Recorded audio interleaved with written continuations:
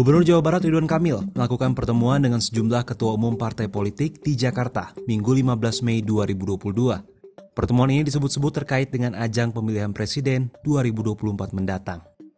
Ridwan Kamil melakukan kunjungan ke rumah Ketum Partai Golkar Air Langga Hartarto di Widya Chandra 3, Jakarta Selatan, Minggu 15 Mei. Dalam kapasitasnya sebagai Gubernur Jawa Barat dan Menko Perekonomian, keduanya membicarakan perekonomian Jawa Barat. Pertemuan yang berlangsung selama 30 menit itu juga membahas terkait perkembangan politik terkini. Salah satunya Koalisi Indonesia Bersatu antara Golkar, P3 dan PAN yang baru saja dideklarasikan.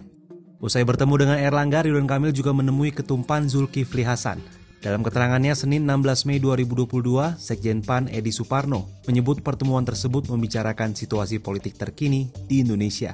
Kita juga melihat bahwa koalisi yang koalisi eh, Indonesia Bersatu yang uh, diumumkan beberapa hari yang lalu antara Golkar, PAN dengan P3 uh, membahas sebuah gagasan besar ingin mengajukan sebuah budaya baru dalam perpolitikan dan demokrasi di Indonesia agar uh, kita di tahun 2024 nanti akan melakukan pesta demokrasi yang berbasis kontes gagasan bukan kontes ideologis sehingga uh, itu demokrasi kita akan semakin tercerahkan, akan semakin maju dan semakin uh, memberikan pembelajaran yang baik bagi masyarakat.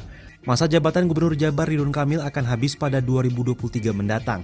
Pada kesempatan lain, RK menyatakan akan bergabung dengan salah satu partai politik dan menyebut siap untuk maju dalam kontestasi Pilpres 2024. Namun hingga saat ini RK belum menentukan akan bergabung dengan partai politik mana yang akan meminangnya sebagai capres maupun cawapres pada pemilu 2024.